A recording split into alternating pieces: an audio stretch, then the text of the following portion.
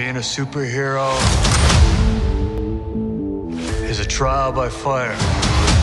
Who's gonna protect the world if not people like you?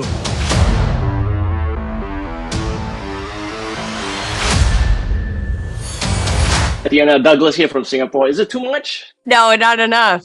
I- I've seen four episodes of She-Hulk. I really enjoyed it. A uh, uh, change of pace. Um, first question: When it was first announced that you were part of the MCU, uh, Mark Ruffalo uh, tweeted, "Welcome to the family." Cuz what else did he? Did he did he warn you about uh, you know what you're gonna get yourself into? You know the pitfalls and the the perks of being in the MCU.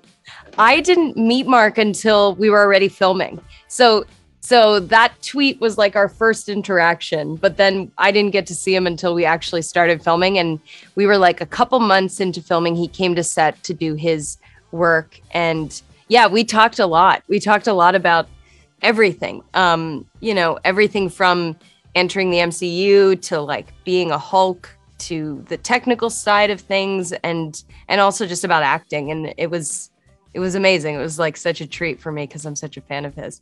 You know, on the show, uh, Jennifer defended uh, Tim Roth's character Abomination. So I'm just wondering if Jennifer to take on Captain America as a client, what kind of trouble? It, what kind of trouble is is Captain America in? He's in trouble because Jen likes him a lot. He's in trouble because Jen's not going to be able to stop staring at his butt. I think is the thing.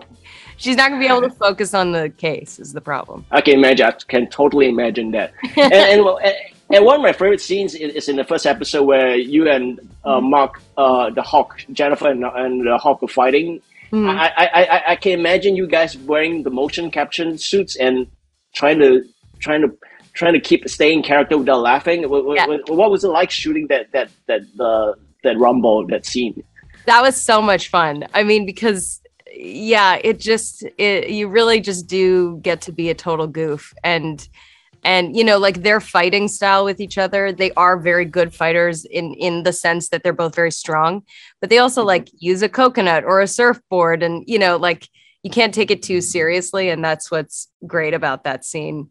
As much as they're pissed off at each other they look foolish and so that's that's very fun to play Was it difficult to act? When do you do you enjoy wearing the the onesie, the motion capture onesie? Yeah, I mean it's it's tough to get used to. It's definitely something that that isn't uh, natural, you know, and it and it doesn't feel like you're She-Hulk when you when you're wearing it, but um but it's also like strangely kind of taps into the same thing that you do when you're doing a theater rehearsal or something.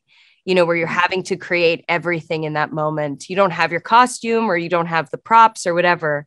So something about being in that suit is actually kind of like really pure in a way, pure, you know, play, uh, pure make believe. Uh, I can't wait for the episode where Daredevil appears. What else legally can you share with us about the episode when he? Legally, nothing. Um, I will say that you know Charlie is amazing. Uh, this character, obviously, he's developed in like a totally different style of show, but he came to our show with so much like play playfulness and and and I really think people are gonna love the dynamic between the two of them. You could be an Avenger. Oh, I'm not a superhero. That is for billionaires and narcissists and adult orphans for some reason.